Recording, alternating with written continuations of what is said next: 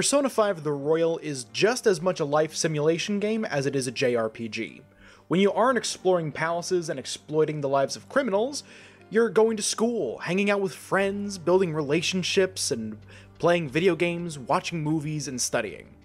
But what happens when life becomes too much to handle? How do you deal with the emotional trauma that you've suffered from in your life?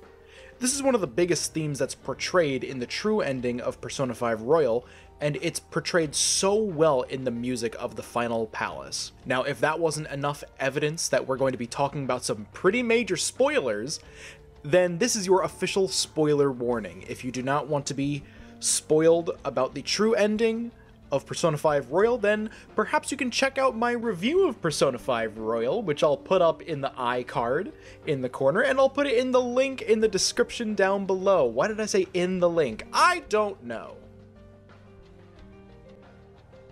The true ending really tugs at your heartstrings as you realize Dr. Maruki, the counselor that you've spent so much time with in order to build up their confidant, is the owner of a palace in the form of a research laboratory. His ulterior motive is to alter the reality of anyone and everyone suffering from some kind of negative emotion and have them live in a reality where they are always happy, living free from those negative emotions. You actually get to see his abilities firsthand with Kasumi Yoshizawa, the new girl in the game. Throughout your adventure, you learn about her dead sister, Sumire, and that she's been seeing Dr. Maruki ever since her death.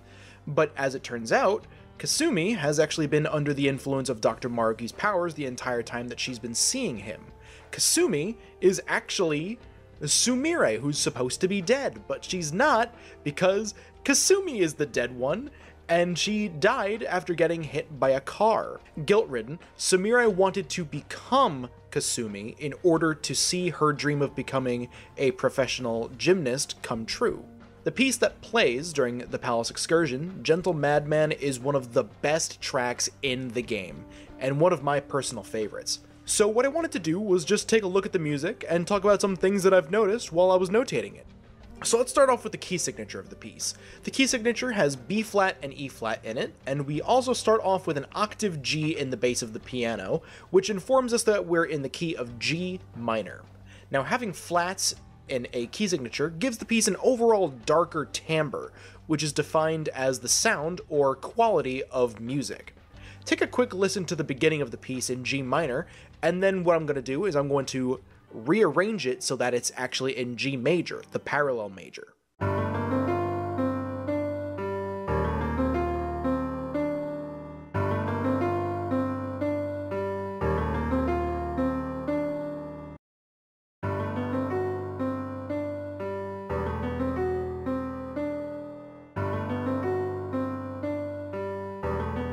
Transitioning from G major to G minor leads to three notes being lowered the mediant, or the third, the submediant, the sixth, and the leading tone, the seventh, of the scale.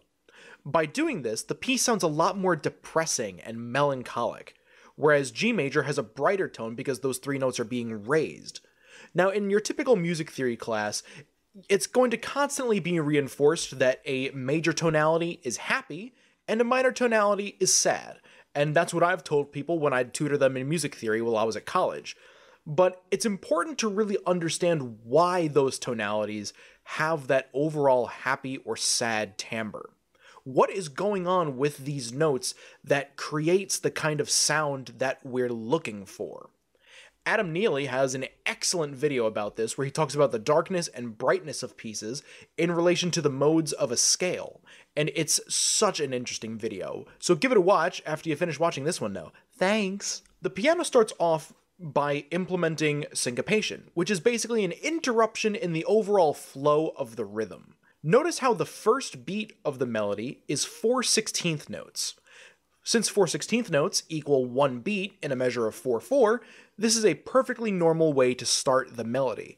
However, it's the dotted eighth notes that follow that help throw off the flow of the piece. When we add a dot next to a note, we are extending it by half that note's duration. So for example, in 4-4, a quarter note is considered one beat long. Adding a dot would add half of that duration to the note, making a dotted quarter note a beat and a half long. When we put a dot next to an eighth note in 4-4, however, we're holding that note out for three quarters of a beat, since an eighth note is counted as half of one beat in 4-4, so it feels very uneven. Listen to the melody with a metronome and notice how none of the dotted eighth notes really line up with the click, aside from the first dotted eighth note coming in on beat 2.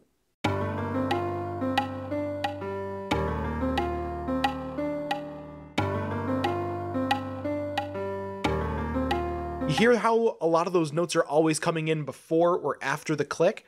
Incorporating syncopation into a piece is what makes it more interesting to listen to. Sticking to normal rhythms for the entire duration of a song will grow repetitive and eventually boring to a listener. Now, in the next section of the piece, it takes a bit of a breather with the syncopation. It still incorporates rhythms not on the beat, but it doesn't do it as much as the main melody.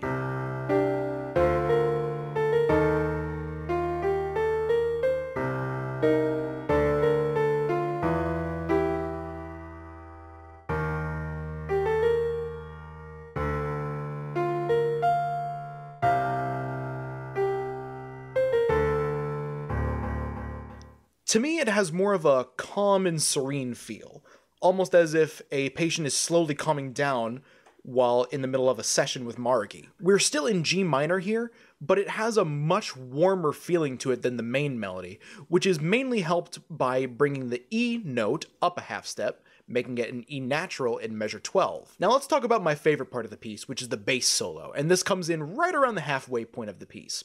One thing that I love is the relationship between the bass and the piano.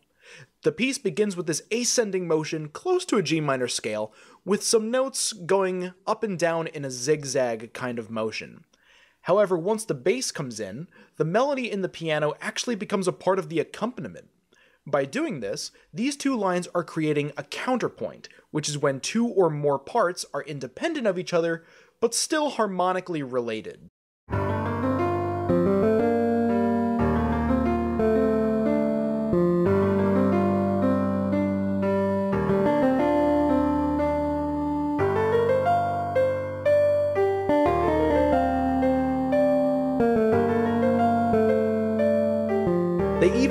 Similar motions while being played. Notice how the melody of the piano is primarily going in an upward motion for the first beat, and then, as I said before, going down in a zigzag kind of motion. The first half of the bass line does something very similar, where it rises upward but then goes slightly downward. This creates similar motion, where two parts are moving in the same direction at the same time, but using different intervals. However, the second half of the bass solo does the exact opposite. It starts off pretty high for a bass, and then goes in a downward motion for the remainder of the solo. This contrast between the mainly downward motion of the bass line and the mountain like motion of the piano hereby creates a contrary motion.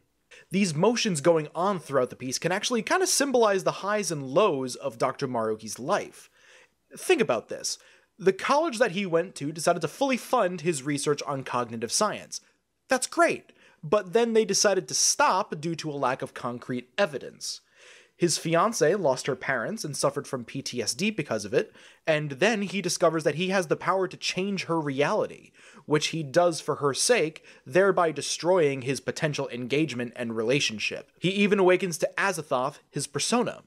And finally, he discovers that he has his own palace, where he began to conduct research on helping people. Joker and the Phantom Thieves come in and ruin all of his progress and his dreams of making a reality where everybody can be happy.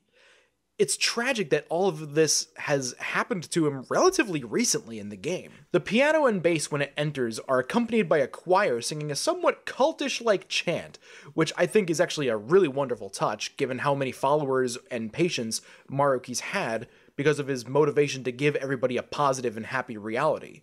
Notice how when you're exploring the palace, all of the patients have these artificial smiles on their face due to the treatment they received. It's really creepy.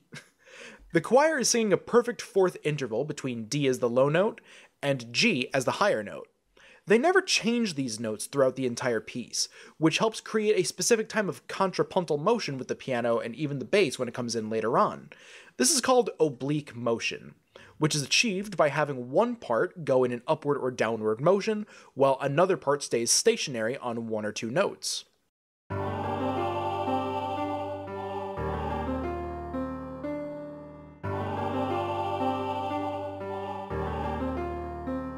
Now, this next thing might be just me overlooking things, but one thing that I found really interesting was the fact that the interval that the choir sings is a perfect fourth. Now, I didn't explain this before, but an interval is the distance between two notes. And when I was learning about them in my high school theory classes, my teacher had us remember songs that certain intervals were found in. So, a minor second interval would be the Jaws theme, a major sixth would be the NBC theme, and a perfect fourth would be Here Comes the Bride. Now, this again might just be an overanalyzation of an interval found in a secret palace for an RPG, but as I was saying before, Dr. Maruki had a girlfriend named Rumi, and he was planning on proposing to her. But tragedy struck Rumi when her parents were murdered. She began to suffer from PTSD, and it was during this time that Maruki learned about his powers to alter reality.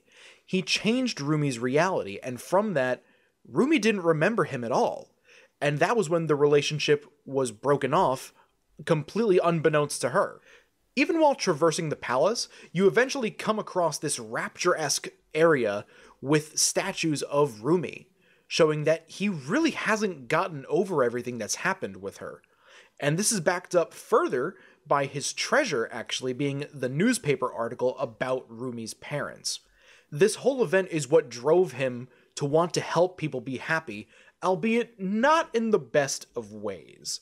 However, I like to think that the inclusion of the choir singing this perfect fourth interval symbolizes what Maruki truly wanted, and what his life could have led to if none of this had ever happened living a happy life somewhere married to Rumi. Now, perfect fourth intervals are actually a really weird interval, especially in this case, because it doesn't signify any kind of change in tonality. The notes that create a perfect fourth are the tonic, which are the first and eighth scale degrees, and the dominant, which is the fifth scale degree, but it's just restructured so that the dominant is the lowest note. Now, it might seem like it only adds to the melancholic feel of the piece, but that's what makes that interval so special. That perfect fourth gives the piece more sentimental value and really portrays the heartbreak that we're supposed to feel for Maruki. The title of the piece is very fitting too, and it's mainly due to the irony between the words gentle and madman. This song being in a minor key helps justify the madman part of the idea, as well as Maruki kinda seeing himself as a god or a messiah. But notice how soft and non-dynamic the song is.